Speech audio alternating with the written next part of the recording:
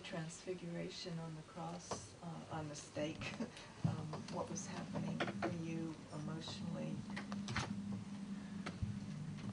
The Transfiguration was an event that happened three and a half years before I died.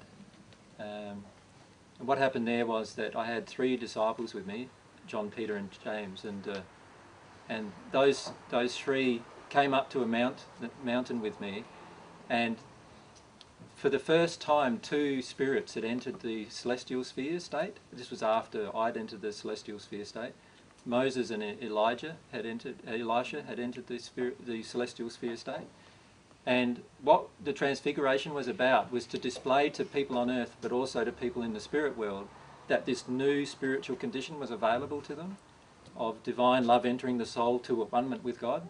And so Moses and Elijah, Elisha, sorry, um, um, displayed as spirits what it was meant to be at one with God, and I displayed as as a person on earth what it meant to be at one with God.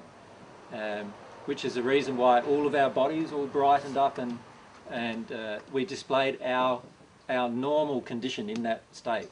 So at, so when you're in a normal state uh, spiritually, you you detune your state to suit the surroundings, but once you're in a one state with God, you can actually have all of the energy from God passing through you and actually show that to everyone around you as well.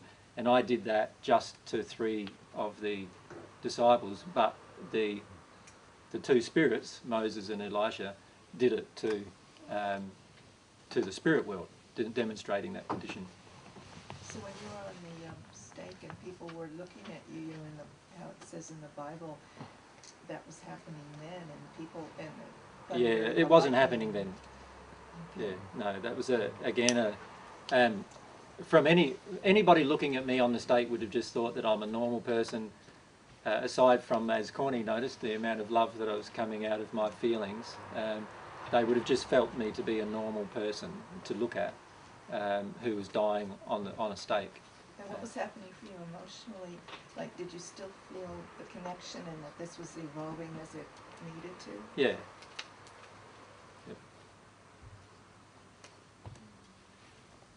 Well, when you're in a at one-ment condition, um, your God's love doesn't leave you for any event as long as you just keep staying open to your emotional condition. And so, um, yeah, the entire time I was on the stake and the time I was tortured before then as well, um, I could maintain that connection with God.